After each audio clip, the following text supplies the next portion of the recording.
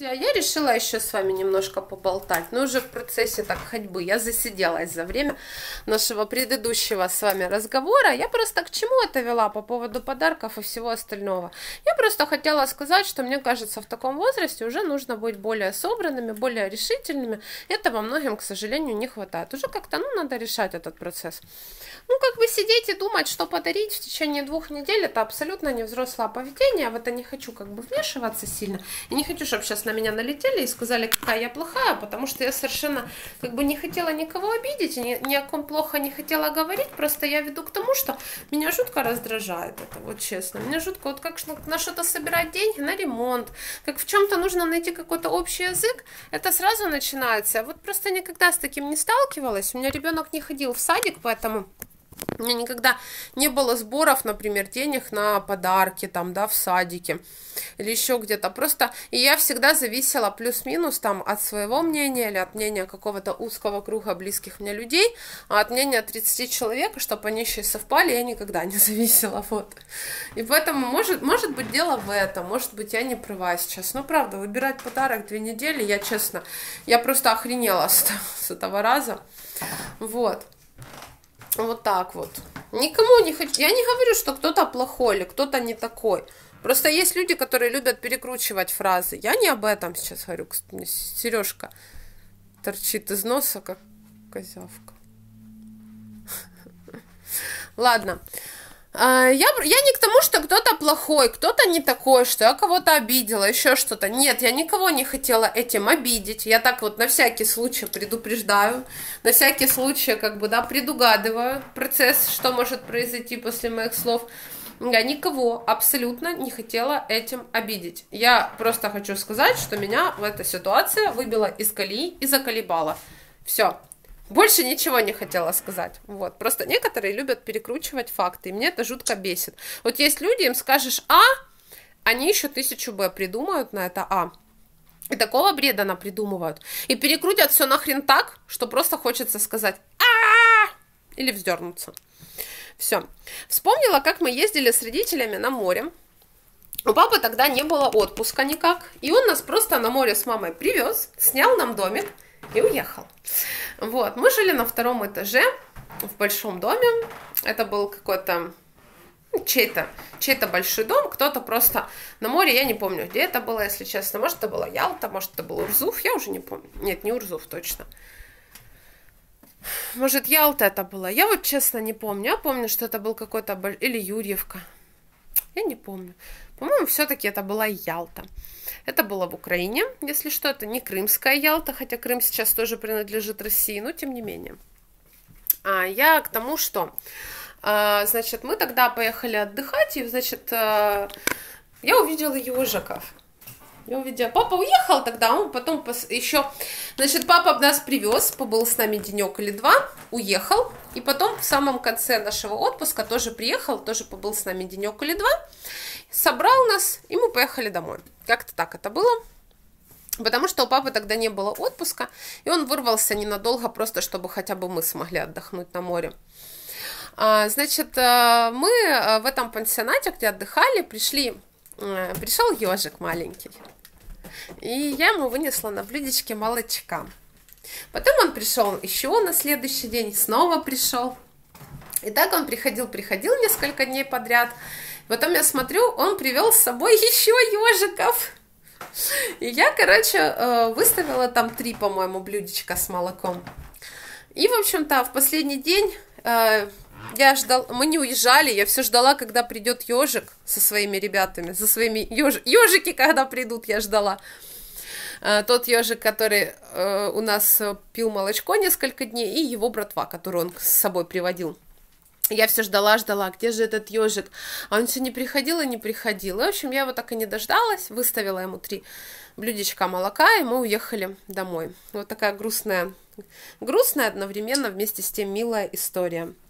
Вот, я уже рассказывала о том, что э, я совершенно не понимаю нынешнее поколение зумеров, я совсем не понимаю тиктокеров, мне совсем непонятно новое веяние, когда вот я смотрю на Габриэлу, вот эту вот бровину, которая в закрытой школе снималась, когда она то с одним пацаном снимается, то с другим пацаном снимается, то с третьим, то с двумя вместе, то когда пацаны снимаются, как будто они геи, то еще что-то. Э, и вот она снимается с этими всеми пацанами, как будто она с ними встречается, как будто она с ними там в кровати лежит. Для меня это честно, для я слишком серьезно к этому отношусь, и я считаю, что это как будто она легкого поведения, как будто она низкой социальной ответственности, даже для видео. Постоянно лежать в кровати с разными мужиками, купаться в душе, типа они тебя мацают. Ой, фу, я не знаю, ну честно.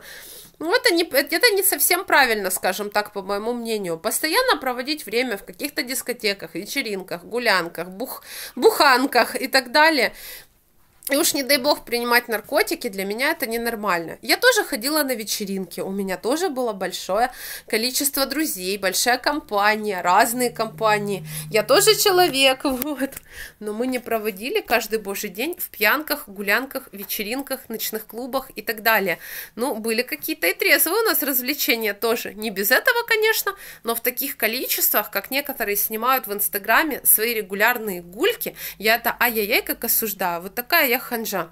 Для меня странно, правда, вот эти непонятные движения, они сейчас люб- любят как-то вот, вот так делать, там что снимают видео, там какая-то музыка играет, и там баба какая-то какую-то такую херню поделала, вот, только, ну, покрасивее, чем я сейчас показала, да, вот, там нам, намазанная по, поярче губежки, вот эти вот накачанные, особенно когда верхняя губа раза в два больше, чем нижняя, это вообще меня пугает.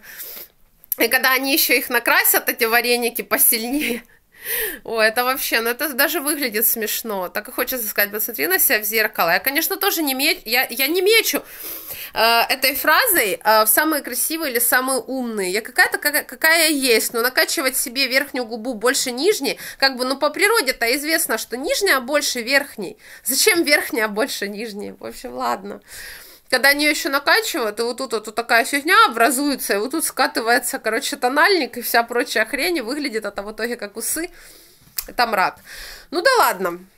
Дело не в этом. Я совершенно не понимаю их музыку. Вот как бы есть поколение, есть в этом поколении люди умные, талантливые, классные, интересные. Есть прикольные словечки, которые я употребляю, которые у меня ребенок употребляет и рассказывает, что это за слова, какую он музыку слушает.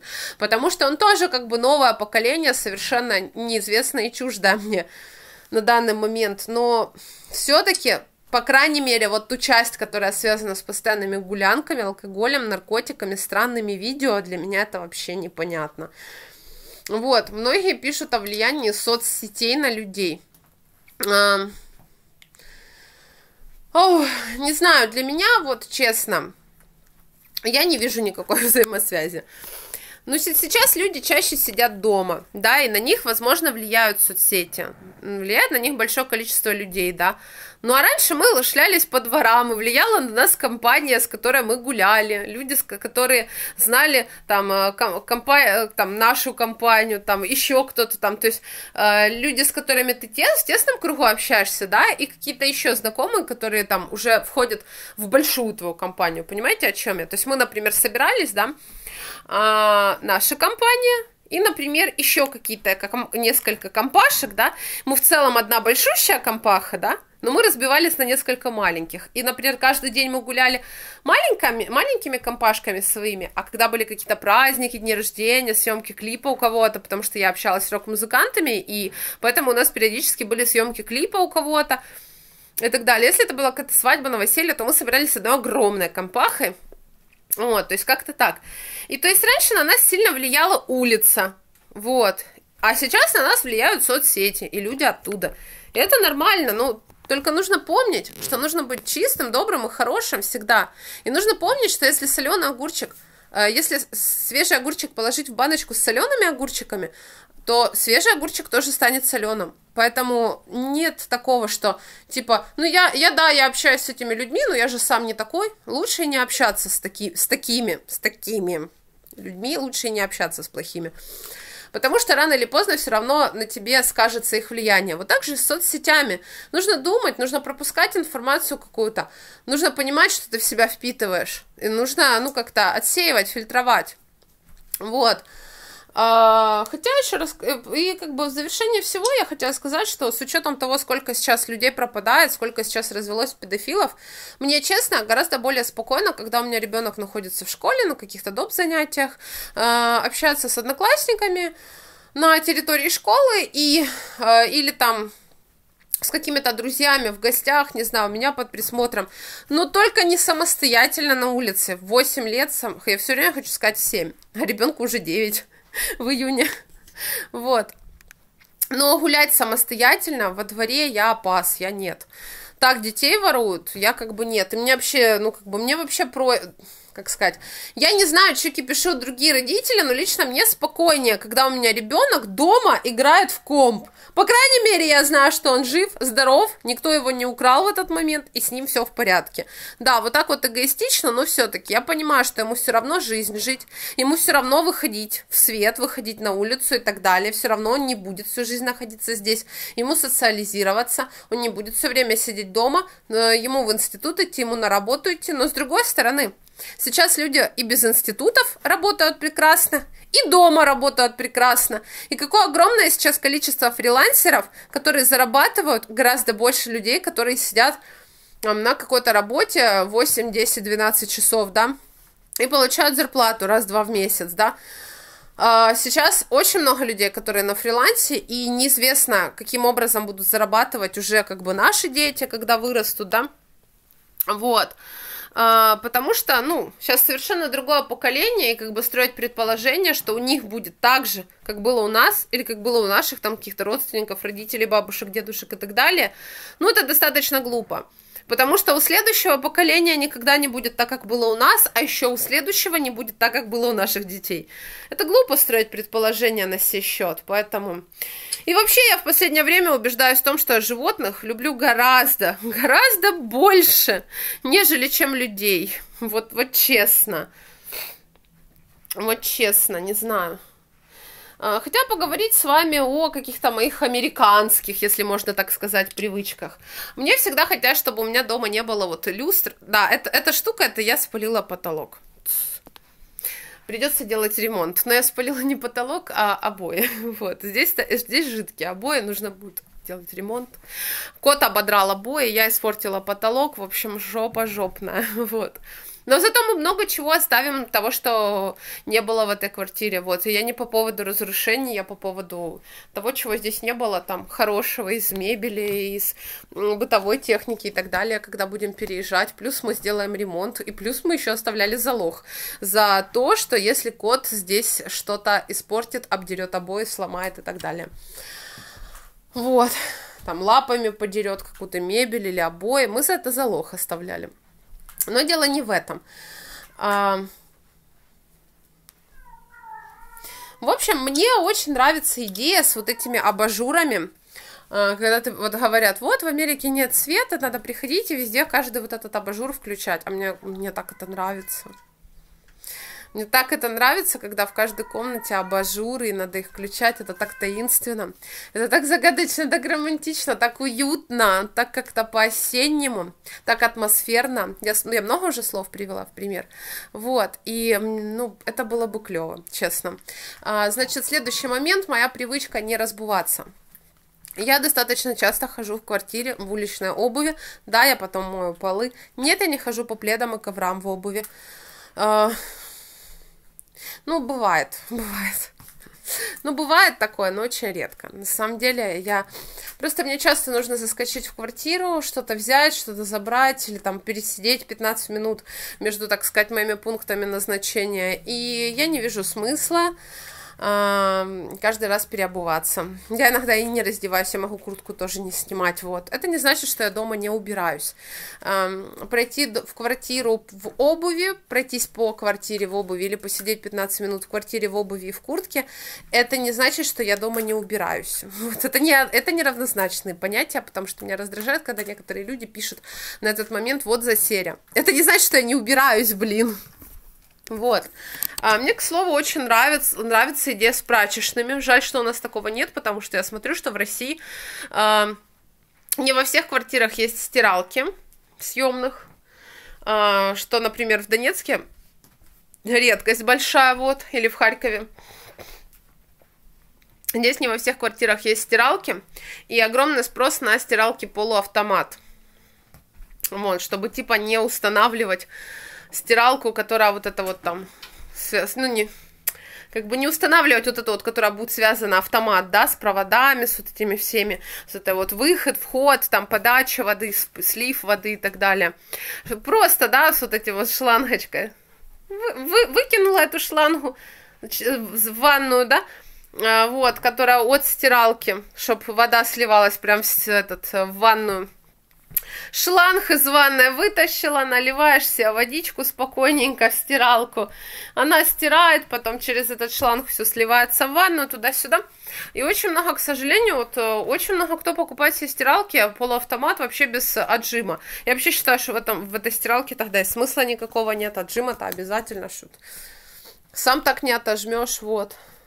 И вот эти штуки, мало кто покупает себе сушилки в э, квартиру, много кто сушит вещи, даже не на бельевых веревках, в, на балконе, я уже рассказывала, за балконом висят вот эти железки, и на них сушат вещи, мне кажется, это ужасно, это какая-то утопия, это какой-то Советский Союз, у нас такое было, наверное, ну, в 70-х, 90-х популярно. Сейчас, например, даже в той же Ясиноватой такие сушилки висят только на старых малосемейках из окошка. А здесь это очень популярная штука, и очень у многих это есть. Вот. Еще есть такая американская привычка все запивать газировкой. Если бы э, я это обожаю, вот. Еще обожаю запивать водой еду. И американская привычка пить все со льдом, даже чай или кофе, пить со льдом. И если ты не скажешь, что тебе без льда в кафешке, то тебе по умолчанию кинут лед в напиток. Даже моя история, я постоянно пью чай, кофе со льдом. Я все пью со льдом. Как-то так. Не могу сказать, что я постоянно болею. Вот. А, у меня ангина, да, хроническое заболевание. Но я не могу сказать, что я прям часто им болею. Я болею им ну, если болею, то это всегда ангина. Ну, вот прям болею я раз, раз, два, один раз в год, один раз в два года я действительно прям болею. Не просто простудилась там на улице, перемерзла, стояла кахи-кахи. Вот. Так. Хотя рассказать вам об особенностях моего тела, но мне кажется, что об этом и так уже все знают. Я много раз рассказывала и о своей щитовидке, о гипотериозе, о своем зрении уникальном. Поэтому, наверное, в этом даже нет никакого смысла. Вот. Об особенностях моего зрения, о том, что у меня зубов больше, чем у обычного нормального человека. У меня зубов столько же, сколько их было у вокалиста группы Queen. Вот так вот, только у него они выпирали изо рта прям, у меня нет. Вот. И э, я не могу сказать, что это прям неудобно, что это прям ужасно как-то мне. Да, это влияет на дикцию, скажем так. Вот почему, кстати, он не стал делать себе операцию, потому что ему сказали, что это может каким-то образом повлиять на вокал, он не сможет так петь, как он поет сейчас. Он это может повлиять на его дикцию и так далее, поэтому он не стал делать себе операцию. А, вот. Но я хочу сказать, что... Сейчас соберусь с мыслями. Он не стал, в общем, делать себе операцию, так и ходил с такими зубами, вот. И я, кстати, тоже не планирую. Но у меня были мысли ранять этот зуб. Он кривой, и он кажется из-за того, что он расположен дальше, чем все остальные зубы, он почему-то кажется, что он выше, больше. Ну, по-моему, это не так. Ну, не намного, кор- короче. Ладно, кривоватый он у меня, этот зуб. Я думала это все исправить, может там брекеты, не брекеты. У меня были подобные мысли в подростковом возрасте. Там лет 12 у меня были такие мысли. Мне почему-то тогда и отговорил и стоматолог, и мама. Сейчас я об этом снова задумалась, а потом я узнала, что мне придется удалить все свои зубы мудрости для того, чтобы было куда зацепить э, эти самые брекеты. И я такая думаю, да ну нафиг, тем более, что у меня зубов больше, чем должно быть у людей нормальных. Я как бы не очень хочу такое количество здоровых, никаким образом меня не беспокоящих зубов выдрать из себя. Вот правда, не, не очень так хочу. Вот. Вот так вот. Хотя рассказать, э, какое у нас было репетиторство в школе, в моей, по математике. Значит, у меня было очень... Ой, опять телефон разряжен. Давайте, наверное, в другой раз я об этом расскажу. Я хотела рассказать о том, как ставили оценки у меня в лицее, в котором я училась, и какое, какое было у нас репетиторство по математике в школе. Это весьма интересная тема. Я знаю, вы любите, когда я рассказываю вам свои истории про школу. Я увидела очень много откликов э, у себя э, в Инстаграме. Я кидала какой-то пост по этому поводу, и у меня был очень большой отклик. Э, я снимала видео, и потом я написала об этом пост, и мне много кто по этому поводу написал, то есть много кто посмотрел это видео мое, а, и они мне, и я как бы, ну, то есть я вкратце рассказала в посте, что, мол, так и так, так и так, да, есть такое-то, такое-то видео. И у меня очень был большой отклик от людей, которые это видео посмотрели, ну, и, естественно, прочитали этот пост.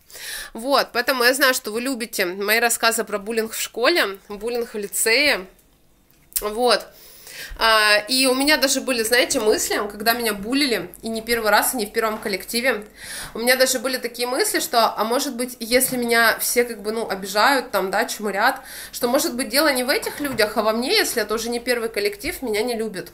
Может быть, мне нужно в себе порыться. И когда я стала встречать коллектив, который меня любил, и очень любил, и людей, которые ко мне замечательно относились, от которых была очень хорошая отдача мне, а у меня э, им и так далее, я поняла, что да нет, как бы, ну, нифига. Во-первых, э, я ничего такого не сделала, чтобы мои одноклассники были ко мне такими жестокими.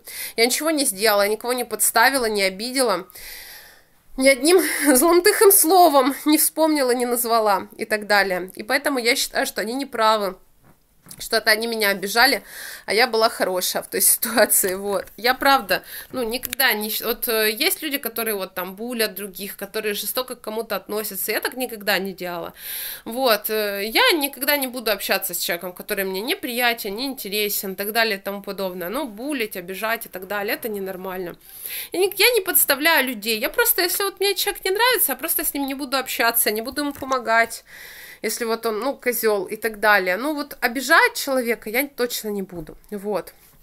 Если я дружу, если я общаюсь, я всегда стараюсь помочь, вот, я всегда стараюсь, как бы я на пупе изверчусь, в жопе на две части разорвусь, грубо говоря, но я всегда помогу, я всегда приду на выручку и так далее. И, ну, я не, я не люди, с которыми я общаюсь, я их не обзываю никак. Я их, ну, я не знаю, за что, то есть, ко мне было такое отношение, я до сих пор не могу понять.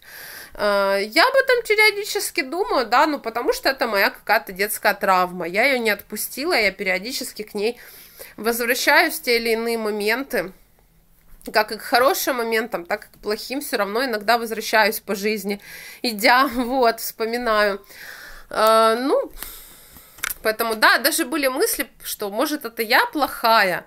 Хотя я все то, что мне предъявляли, что я там э, кого-то обозвала, кого-то послала, кого-то ударила, кого-то как-то в телефоне подписала на фотографиях и в телефонной книге.